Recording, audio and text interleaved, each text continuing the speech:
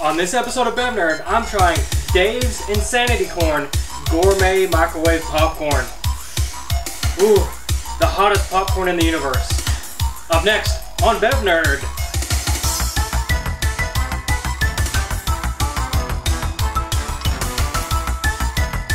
Hey everybody, welcome to season three premiere of Bev Nerd Podcast. I'm your host Jason, the Bev Nerd Coleman. This episode 130, finally the first episode of 2013. It's like halfway through January. I do apologize. We've had some uh, things um, go down at the beginning of the year, but we're back and we're in for the long haul of 2013. What way better to start off things with a bang? I'm sorry, a pop with Dave's Insanity Corn Gourmet Popcorn. Now, if you're not familiar with Dave's Insanity, uh, they're a line of gourmet hot sauces. Um, I found this with much uh, surprise at the Old Farmer's Almanac store for $3.50. Uh, you can find it on their website, I think, for $2.50. So, anyways, let's open this up. I'm sure this is going to smell brilliant. Woo! Just smelling the just smelling the package itself is spicy. Oh, it smells like cayenne pepper. Okay. Let's um, check this out. Yellow popcorn, uh, soybean oil, salt, pepper, spices, natural and artificial flavorings. Anyways, um, I'm to go stick this in the microwave and uh, we'll be right back. This episode of Bev Podcast is sponsored today by Amazon, Amazon.com, the world's largest online retailer. So if you go to BevNerd.com and click the Amazon banner at the top of the page, then shop away. We get uh, fractions of pennies for that, and they go a long way to maintaining the show quality and things of that nature. Okay, I'm back. I've popped the uh, Insanity Popcorn. Uh, here's a shot of it. Uh, yeah, that definitely looks like very spicy popcorn. It's kind of scary looking. I see all sorts of um, spices, uh, pepper. It's red in color for some of the uh, more seasoned pieces. This is going to be interesting. Anyways, let's try it.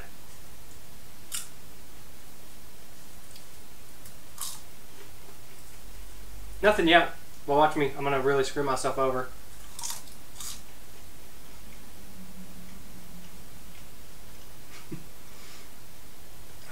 Yep. The popcorn itself tastes pretty good. Um, I actually didn't burn the popcorn, so I'm pretty happy about that. Yep, actually, this is, um, it's getting there. It's like a, a low rolling uh, heat scale, I think. It starts off like, oh, okay, this is cool, and then it all of a sudden it starts, there's the heat, and it's just slowly rising. But, however,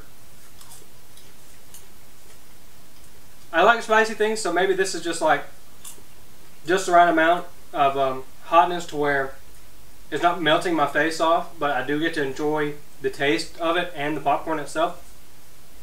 But uh, in a minute, I think I am going to need some water or a glass of milk or something. This is good. I kind of wanted to. I kind of wanted this to really whoop my butt, just for comedic purposes. But however, this is a this is a nice thing of popcorn. If you like spicy stuff at all, I'd highly recommend this because it brings the heat, but not to not so much to where you can't enjoy eating it. So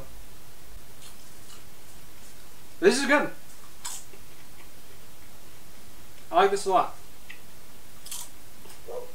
It's good too because instead of like buttery popcorn, it's maybe um, you know it didn't have like the um, nutrition facts on it, but I don't think this could this could possibly have less calories than something like movie theater butter microwave popcorn because it's not really butter flavor at all. It really is just like popcorn and spices and the heat. This is actually starting to burn a little bit, but uh, my nose is starting to run, so that means it is doing its job. And when I talk, the the sheer heat off my breath on my tongue is hurting, so that's that's a thing, and that's fun. But as far as like from a scale of 1 to 10, 10 being like unbearably hot and 1 being like mild, I would probably give this like a 6 or 7. Um, uh, yeah, if I eat this whole thing, it might hurt. So, but as far as the Bev snack rating on this, I would give this, um, this will give, this will receive an A from me. Um, I don't have anything bad to say about it. I don't really want it to be hotter than what it is because I am enjoying it. It is providing heat, and if it was any hotter, I probably wouldn't like it. So it is a, it is a good blend of spice on the on the popcorn. But that's my review of Dave's Insanity Corn Gourmet Popcorn. Um, check them out at davesgourmet.com or find them in stores like Farmer's Almanac and um, other places. I'm sure you can find it if you look hard enough. Um, if I can find a link to it, I'll leave it in the show notes. Yeah, if you can see, I'm starting to get a little fidgety. Um, this is getting pretty hot, so I think I'm going to wrap this up. So if you want more episodes of me trying snacks or sodas, go to bevnerd.com. Follow us on Facebook, facebook.com slash bevnerd. Ah, that feels good. Uh, on Twitter and um, uh, Instagram, I'm at bevnerd. And we're now on Pinterest, uh, so pinterest.com slash bevnerd. If you want to send me an email, it's bevnerd at gmail.com. Um, if you're into anime or gaming at all and you live in Atlanta or the South, you might want to check out momocon.com. It's a convention we're going to. Oh, ew, goodness. Mm. It's starting to really hurt my face, so I'm trying to wrap it up. Anyways, it's a uh, convention in March 8, 9, and 10th in Atlanta, Georgia at the Hilton. We're going to have a BevNerd sampling table and a panel on Saturday. Ooh, that's really hot now. Wow, that was worth it. That was very good. Um, and we're going to have sampling stuff like uh, aloic organic aloe vera drink and coconut energy and some very, very more stuff. From BevNerd.com, I'm Jason Coleman. Bye. Oh, I need some water.